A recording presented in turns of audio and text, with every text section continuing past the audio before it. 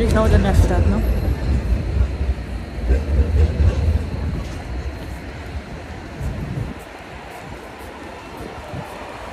Also ich weiß schon, warum ich aufs Land gezogen bin. Und die meisten meiner Freunde sind tatsächlich auch aus der Stadt raus. Eigentlich sind alle meine Freunde aus der Stadt raus. Hm. Woran das liegt? Hm.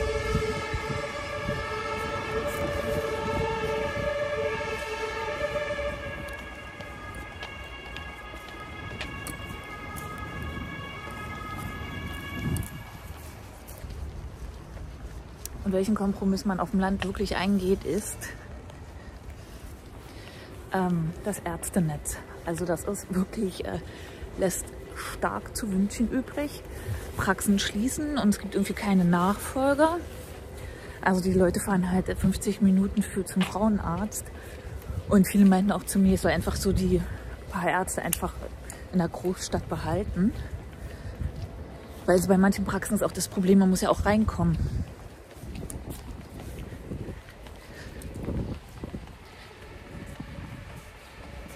Also so zum Durchlaufen ist es mal nett. Aber ich bin froh, dass ich das nicht mehr mit Ronja machen muss. Dass sie, ja, dass wir, ja. Also ich sehe nicht so, ja, also ich sehe keinen Sinn in der Stadt zu wohnen.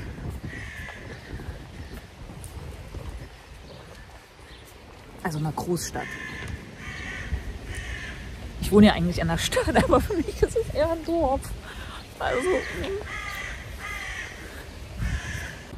Aber ich kann echt sagen, wenn ich zu den Superreichen gehören würde, hätte ich tatsächlich noch eine Stadtwohnung. Ja, in so einem, eine schöne Altbauwohnung, ein Zimmer, zwei Zimmer. Obwohl ein Zimmer würde eigentlich reichen. Einfach, dass man halt ab und zu in der Stadt sein kann für organisatorische Sachen, für Ärzte etc. Ähm, ja, aber das, viele Reiche haben ja deswegen auch zwei Wohnsitze, ne? Also, also, ah, weil alles hat seine Vor- und Nachteile. Aber wie man ahnen kann, gehöre ich nicht zu den Superreichen.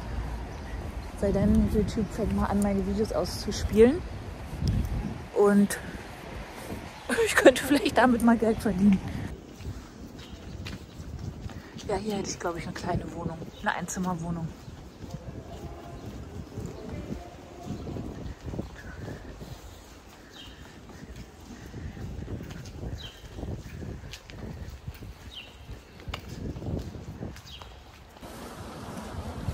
Fashion Prenzlauer Berg. Naja, im nächsten Leben.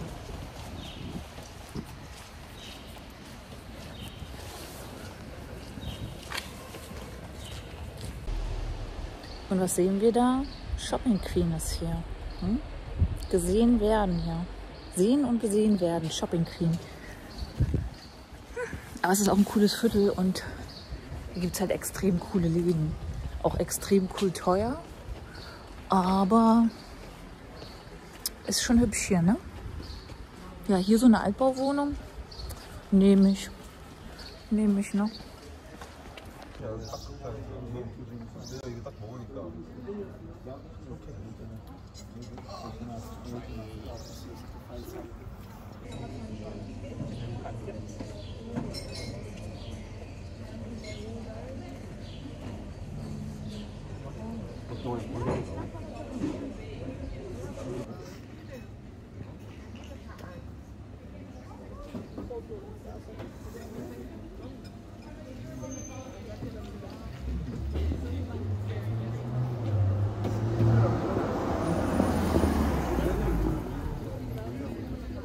Aha, das Fernsehen dreht genauso wie ich.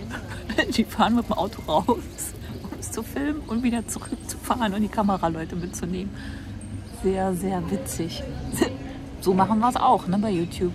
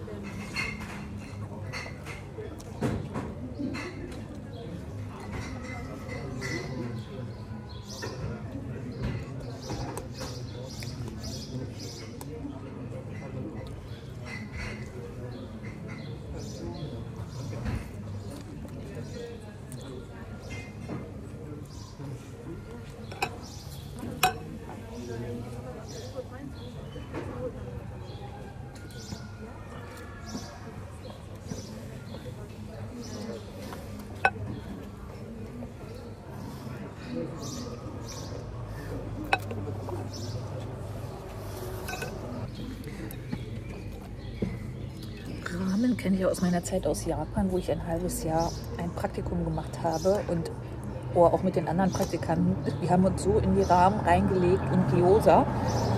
Also, das war so krass. Und seitdem freue ich mich natürlich, wenn man so einen Laden entdeckt, ähm, mal wieder Rahmen zu essen.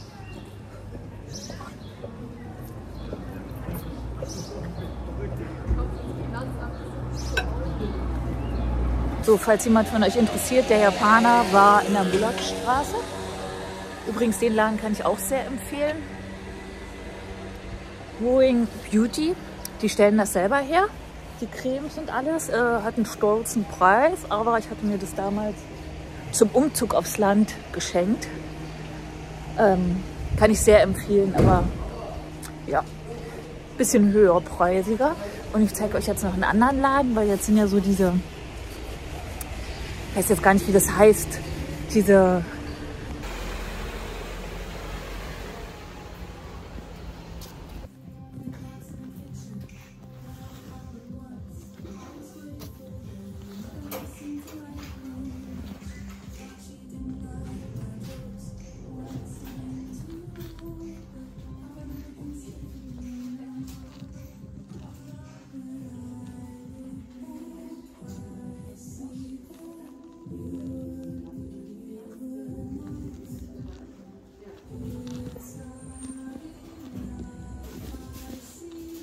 Also der Laden eben war super cool. Die Verkäuferin, Eigentümerin, super, super nett. Kann ich sehr empfehlen, wenn man Kleinigkeiten in der Stadt sucht. Und sie hat mir erzählt, sie hat hier noch ein Restaurant. Ach, hier bin ich schon.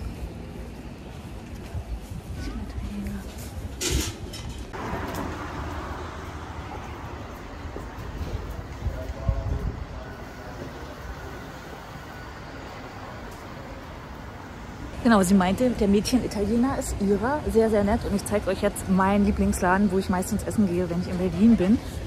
Und da gehe ich essen.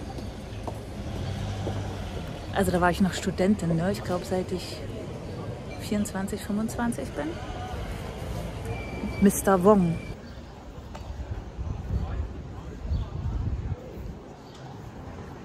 Das ist der Laden. Monsieur Wong, Monsieur Wong. Also, Monsieur Wong, mein absoluter Geheimtipp. Da habe ich, glaube ich, auch meinen 26. Geburtstag gefeiert. Aber krass. Und ich nehme euch jetzt noch woanders hin mit, weil es gibt ja so ein neues Getränk seit längerem, diese, mit diesen Kügelchen, wo ich am Anfang dachte, wer trinkt denn sowas? Ja, bis man selber damit anfängt. Und dann schmeckt es auf einmal. Und jedes Mal, wenn ich jetzt hier bin, muss ich zum Monsieur Wong und zu diesem anderen Laden. Aber krass. Also das hier ist natürlich der coole Teil von Berlin-Prenzlauer Berg. Jetzt hier kommt vorne der Hackische Markt. Hier sind auch die ganzen Touris. Und in der Regel auch die Leute, die Geld haben. Ne? Also hier fahren ganz andere Autos rum. Ähm, ja, und hier ist halt auch viel Touristen. Also, ja, wenn ich jetzt hier so durchlaufe, das mag ich so halt an Berlin, ne? aber hier dauerhaft wohnen, nehm, ja, naja, hier auch ein super Kaffeeladen. Also die Straße hier ist echt gut. Die Läden sind echt hip.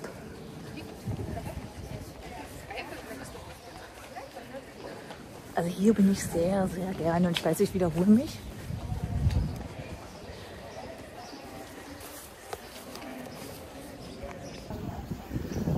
Vor dem Laden ist mal typischerweise keine Schlange, weil normalerweise ist da immer eine Schlange.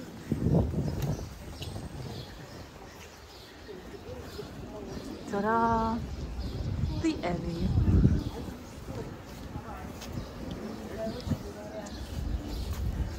Der da ist mein Favorit. Brown Sugar.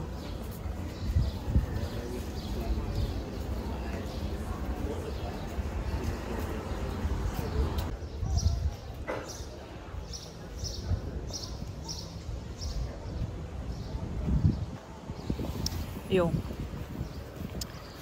Kann ich sehr empfehlen. Allerdings, allerdings macht das Getränk süchtig. Fängt man einmal damit an, hat man immer wieder Bock drauf. Ja, lang, lang ist her. Ich habe ja auch mal gearbeitet. Hier gleich um die Ecke. Lange her. Sehr lange her.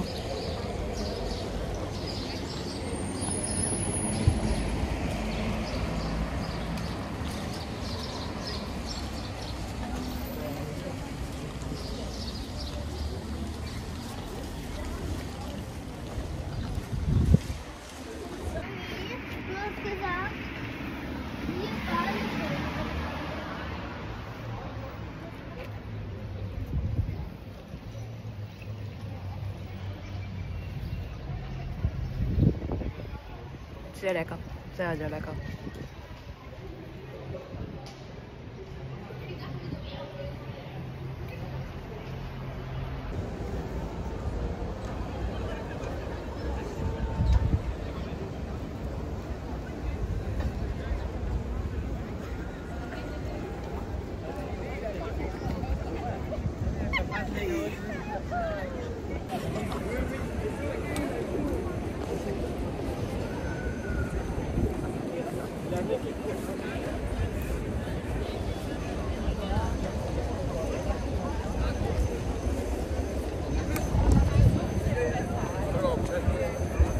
Quasi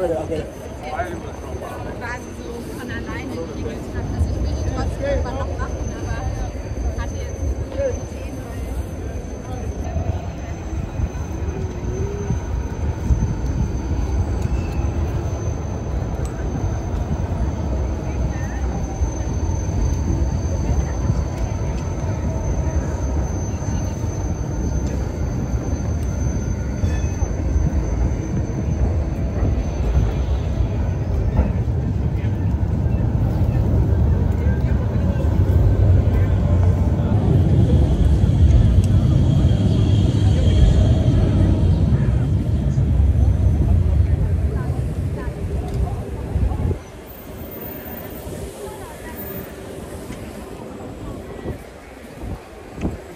So, und jetzt geht es in meinen Kleingarten. Was für ein Kontrast.